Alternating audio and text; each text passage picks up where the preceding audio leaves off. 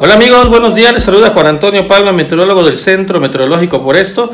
Y pues bien, eh, la situación de, que les había comentado del vórtice polar que se está desplazando hacia el noreste de Estados Unidos, sureste de Canadá, pues va a seguir metiendo frentes fríos.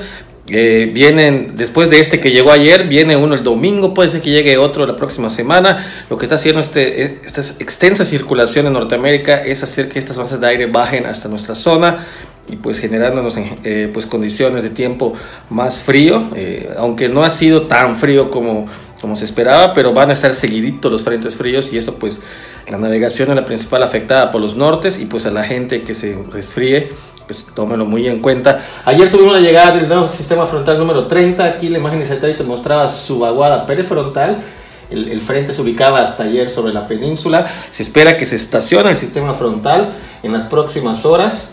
Aquí vemos la, la, carta de pronóstico para hoy y va a seguir generando precipitaciones. La masa de aire frío se mueve más hacia el este y pues aquí van a converger masas de aire cálido y húmedo y el aire frío generando inestabilidad sobre la península. Lluvias para el día de hoy, nublados la mayor parte del día. También ambiente frío por la condición de, los vientos frescos por la masa de aire y los mismos nublados y las precipitaciones.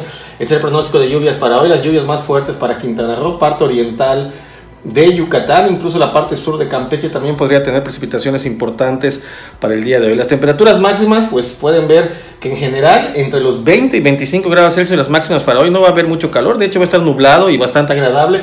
En algunas regiones por la lluvia y incluso las temperaturas podrían estar de máximas entre 15 y 20 grados Celsius, partes de Yucatán y Campeche. Incluso la ciudad de Mérida de los 20 grados podría ser, va a ser una tarde bastante agradable, bastante fresca para el día de hoy y mañana al amanecer entre 15 y 20 grados Celsius en la mayor parte de la región. Podría ser que en el sur de Yucatán valores entre 10 y 15 grados Celsius, pero como va a estar la mayor parte del tiempo nublado, no va a haber tanto enfriamiento por la noche, más bien va a estar más generalizada las condiciones de, de ambiente fresco y temperaturas bajas.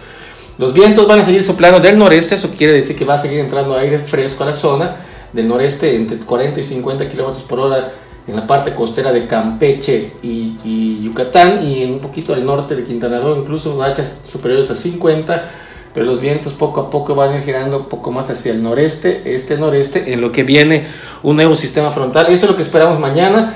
Va a mantenerse el, el frente estacionario sobre la región, generando más precipitaciones para este sábado. Así que toma en cuenta si usted tiene eh, eventos o, o, tiene planes. Y acá tenemos eh, un reforzamiento de aire frío ártico que va a ir bajando generando una frontogénesis, la formación de un nuevo sistema frontal que estaría llegando para el día domingo en la tarde a la península. Bastante, bastante se va a meter hacia la parte sur del Golfo de México, generando eventos de norte, incluso eventos de norte fuertes, vientos hasta 80 kilómetros podrían dar soleaje bastante elevado, lluvias, lluvias igual, muchísima lluvia, y pues obviamente va a mantener descenso de las temperaturas adicional al que ya teníamos, así que desde el frente frío de ayer hasta este fin de semana van a seguir las condiciones invernales, tómenlo muy en cuenta, tomen sus precauciones, les deseo un excelente fin de semana.